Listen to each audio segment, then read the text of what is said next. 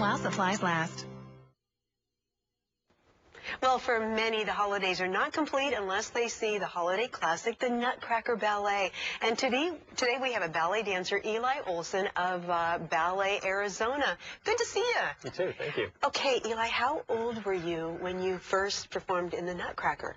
My first Nutcracker, I was six years old. Six years old. And I performed the, performed the role of Fritz, who is Clara's nasty little brother and who causes lots of trouble for her. Oh, yeah. Give, give me some details well, about that. So obviously that's a good part for a six-year-old boy.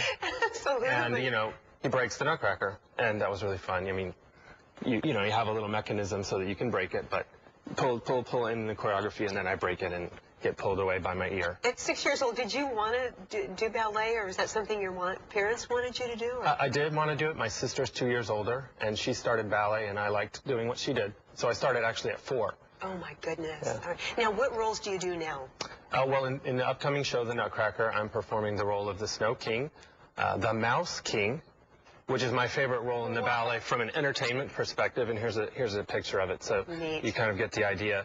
Um, my favorite role, for artistically though, is the Snow King, um, and it's it's something that really captures the sort of romance that Tchaikovsky brings through. Yeah, it really, really does. What's your favorite thing about, besides being the Mouse King and the Snow King, about the Nutcracker?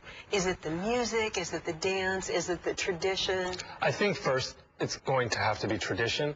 Uh, especially if you're going to make it through many, many years of doing the Nutcracker all, all the time, you have to find something about it that you artistically love or personally love and the tradition knowing that families turn to the turn to the nutcracker and the ballet to capture their imagination and and inspire them about what the holidays mean to them, whether that's, you know, spiritually or just personally? Yeah, absolutely. You read into it what you want. Tell us a little bit about the story of the Nutcracker. Okay, well, as I was talking about Fritz, who's Clara's nasty little brother, he is just part of the story there.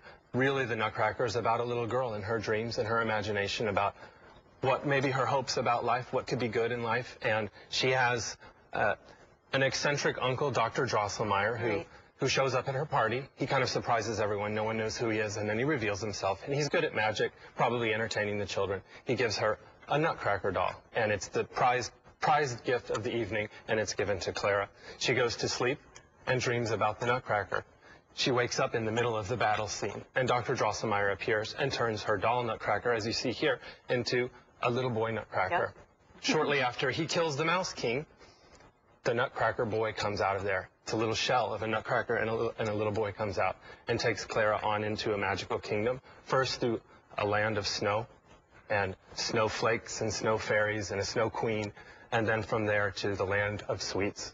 You did a great job explaining that. Now we don't have to go. No, that's not. Yeah, sure. No, but I understand that it actually snows on stage. Now, what's that like for the audience and for the dancers? Well, I think anytime you add another layer of dimension and you add some texture to the stage, it really brings what's happening on stage closer to what we actually feel about the world around us. Um, and, and it happens like that for the artists too. We're on stage and all of a sudden there's this new element that's informing our art. And sometimes it informs it in a scary way, like I'm, I'm worried I'm going to fall on the snow. That's right. It doesn't happen. You know, people don't fall, and it's it's exciting. It's interesting. You know, I can't imagine the holidays without the Nutcracker. We're Me so too. excited to see the performance. Thank you so much for coming in today. Thank you. All righty. And you can see Ballet Arizona's The Nutcracker from December 10th through the 26th. It's at Symphony Hall. Tickets start at only $17. Discounts are available for students, seniors, military, children, and groups. And to get your tickets, just call the box office or go to Ticketmaster.com.